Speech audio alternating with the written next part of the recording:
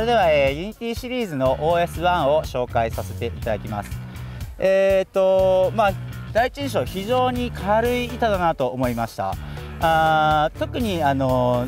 年配者あとは女性の方なんかは非常にこう取り扱いがあやりやすいのかなと思います。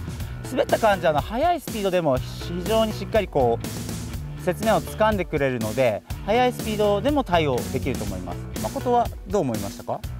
僕はこう履いた感じなんですけどやっぱりこう OS2 もあると思うんですけどこっちもメタルが入ってる分だけ、うん、やっぱこうしっかりしてるっていうか、うん、今浩司さん言ってましたけどこうスキーのこうスピードが出たりだとか、うんうん、とかこうちょっと雪が例えば幅もあるじゃないですか、うん、幅もあるんでやっぱりちょっとね雪が柔らかいとか。えーと、春雪とか、ね。うん、ザラメとかザブ雪っていうか、ああいう時なんかもこう幅があるんですごくこうなんだろうバランスも取りやすいと思うし、メタルが入ってる分だけしっかりこうなんだろう。こうたわみが、ね、そうそうたわみもね、うん、底抜けしない感じがあると思うんで、そういった部分はね僕今今日乗った感じですけどすごく扱いやすいっていうかそうですね、うん、そういう印象はありました、ね、あのセンター幅が広いからやっぱりいろんな斜面で、うん、あの安定性が出るんじゃないですか、うん、僕はやっぱパウダーとかが好きだから、やっぱこういう板であの1台あると、うん、いろんなところに行けてそうですね。楽しいかなシチュエーション的にはやっぱいろんなところにこう行けるスキーだと思うんで、特にこうあんまり雪質だったりとかゲレンデはあんまり選ばないそうです、ね。タイプのスキーかなっていう印象はすごいありましたね、